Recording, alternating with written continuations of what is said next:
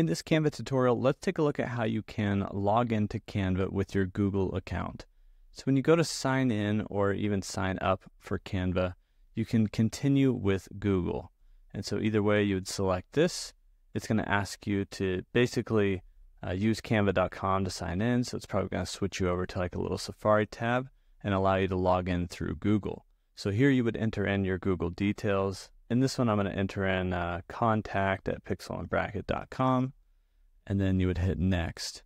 You would then sign in to your Google account, and so enter in your password. Once you enter your password, you're going to hit next again.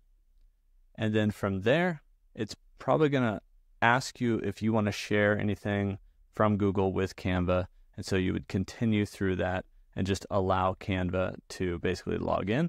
And so now what we've done here is signed up with a Canva account through Google. And so I can skip all of this initial stuff here.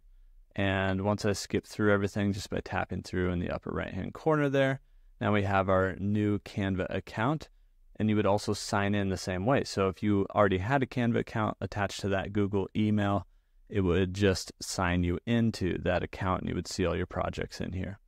That's how you can sign up or sign in to a Canva account with Google.